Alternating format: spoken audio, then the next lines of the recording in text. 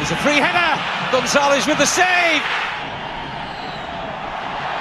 Once again, we see the tempers beginning to fray here. Nayasi kicking out after he was challenged initially by Pimentel. Drop here for Andrade, and he scored.